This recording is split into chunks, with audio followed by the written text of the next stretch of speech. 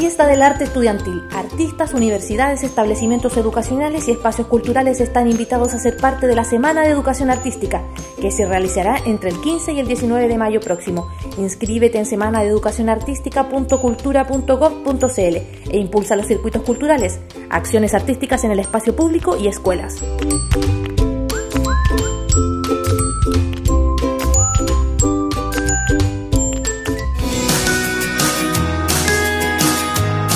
Personas mayores de 60 años podrán participar en el cuarto concurso literario Rosa de Amarante.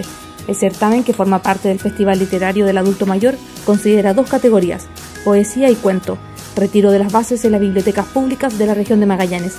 Informaciones en el celular 998154131 o al correo electrónico plumasliterarias.yahoo.com.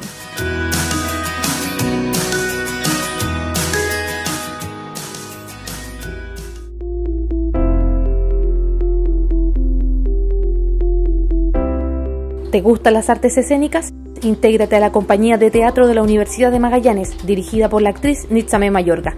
Clase los días lunes, miércoles y viernes, entre las 19.20 y las 20.50 horas, en el hall de la UPA de la UMAC. Interesados inscribirse en el correo electrónico nitzame1.gmail.com.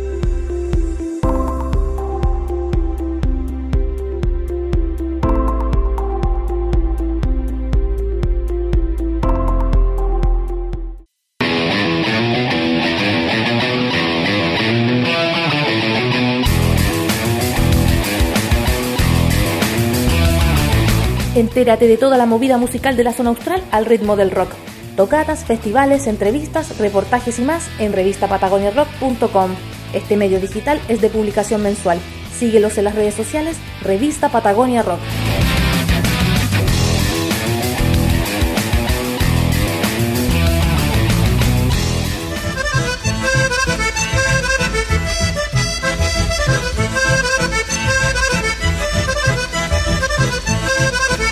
El objetivo final siempre fue reunir a la gente, generar instancias que permitieran a las personas estar juntas, escucharse, vincularse. Eh, aparecía esta situación de mucha separación, no solamente geográfica, sino también de... El Consejo de la Cultura y las Artes, a través del programa Red Cultura, invita a artistas y colectivos artísticos a participar en la convocatoria de residencias de arte colaborativo 2017. El objetivo de esta propuesta es cruzar prácticas artísticas con contextos locales y sus realidades sociales. El plazo de las postulaciones vence el 13 de abril. Bases disponibles en fondoscultura.gov.cl. Pusimos sobre la mesa una serie de talleres posibles para toda la comunidad. Sin embargo, teníamos claro que en una primera semana o las dos primeras semanas iba a ser solamente ir, estar en el contacto real con la gente, vincularnos y ver cuál era la necesidad real.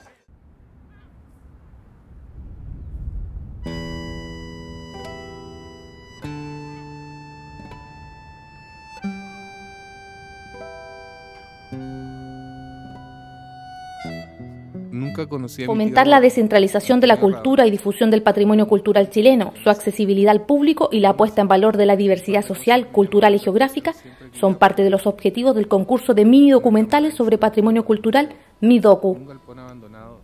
Esta segunda edición del certamen, organizado por la Corporación Patrimonio Cultural de Chile, se centrará en cultores y manifestaciones del patrimonio inmaterial en torno al paisaje, geografía y recursos naturales. Más información en patrimonio.cl. Nadie le tiene interés a eso ahí, siendo que eso es un patrimonio nacional, eso tiene toda una historia.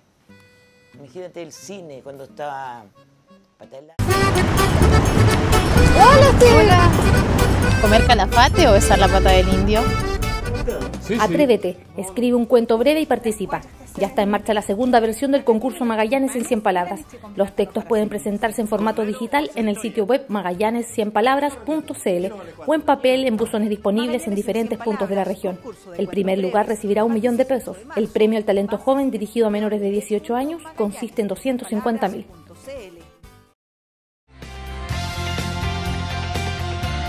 Si quieres conocer más actividades artístico-culturales, no dejes de seguirnos en las redes Cultura Magallanes.